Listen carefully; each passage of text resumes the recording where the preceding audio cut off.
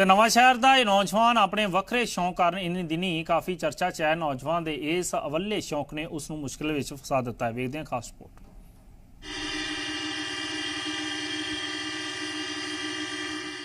ਪੰਜਾਬੀਆਂ ਦੇ ਸ਼ੌਂਕ ਅਵੱਲੇ ਨੇ, ਪਰ ਨਵਾਂ ਸ਼ਹਿਰ ਦੇ ਇਸ ਨੌਜਵਾਨ ਦੇ ਨਵੇਂ ਸ਼ੌਂਕ ਨੂੰ ਹੁਣ ਮੁਸ਼ਕਲ 'ਚ ਫਸਾ ਦਿੱਤਾ ਹੈ। ਨੌਜਵਾਨ ਨੇ ਆਪਣੇ ਸਪਲੈਂਡਰ ਮੋਟਰਸਾਈਕਲ ਤੇ ਇੱਕ ਜਾਂ ਦੋ ਹਾਰਨ ਨਹੀਂ, ਬਲਕਿ ਪੂਰੇ 48 ਹਾਰਨ ਲਗਾਏ ਨੇ। ਜੋ ਅੱਜਕੱਲ ਸੋਸ਼ਲ ਮੀਡੀਆ ਤੇ ਕਾਫੀ ਚਰਚਾ ਦਾ ਵਿਸ਼ਾ ਬਣੇ ਹੋਏ ਨੇ।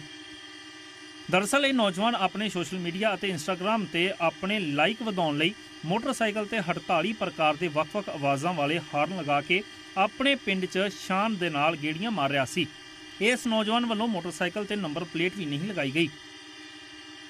ਸਾਡੇ ਕੋਲ ਐਕਚੁਅਲੀ ਕਰੀਬ 4-5 ਦਿਨ ਪਹਿਲਾਂ ਇੱਕ ਕੰਪਲੇਂਟ ਆਈ ਸੀ ਕਿ ਕੋਈ ਲੜਕਾ ਹੈ ਜਿਹੜਾ ਉਹ ਬਾਈਕ ਤੇ ਮਲਟੀਪਲ ਹਾਰਨਸ ਬਲੋ ਕਰਦਾ ਰੋਡ ਦੇ ਉੱਤੇ। ਤੇ ਇਹਨੂੰ ਫਿਰ ਅਸੀਂ ਆਇਡੈਂਟੀਫਾਈ ਕਰਕੇ ਮੋਟਰਸਾਈਕਲ ਕਾਬੂ ਕੀਤਾ ਤੇ ਫਿਰ ਜਦੋਂ ਅਸੀਂ ਗਿਣਤੀ ਕੀਤੀ ਤੇ ਕੁੱਲ 48 ਹਾਰਨ ਜਿਹੜੇ ਉਹਨੇ multiple horn with different sounds ਜਿਹੜੇ ਲਗਾਏ ਹੋਏ ਸੀ ਇਹਨੂੰ 207 ਮੋਟਰ ਵਹੀਕਲ ਐਕਟ ਤਹਿਤ ਬੰਦ ਕਰ ਦਿੱਤਾ ਤੇ ਜਿਹੜੇ ਇਹਦੇ ਬਣਦੇ ਚਲਾਨ ਸੀ ਉਹ ਕਰ ਦਿੱਤੇ ਨੇ। ਤਾਂ ਜੇਕਰ ਗੱਲ ਪੁਲਿਸ ਪ੍ਰਸ਼ਾਸਨ ਦੀ ਕੀਤੀ ਜਾਵੇ ਤਾਂ ਪੁਲਿਸ ਪ੍ਰਸ਼ਾਸਨ ਨੇ ਵੱਡੀ ਕਾਰਵਾਈ ਕਰਦਿਆਂ ਉਸ ਨੂੰ ਬੌਂਡ ਕਰ ਲਿਆ ਹੈ। ਪੁਲਿਸ ਨੇ ਦੱਸਿਆ ਕਿ ਨੌਜਵਾਨ ਆਪਣੀ ਸ਼ੋਹਰਤ ਵਧਾਉਣ ਲਈ ਅਜਿਹੇ ਅਵੱਲੇ ਸ਼ੌਂਕ ਪਾਲੀ ਫਿਰਦਾ ਹੈ। ਨਵਾਂ ਸ਼ਹਿਰ ਤੋਂ ਨਰਿੰਦਰ ਰਤੂ ਦੀ ਰਿਪੋਰਟ ਜ਼ੀ ਮੀਡੀਆ।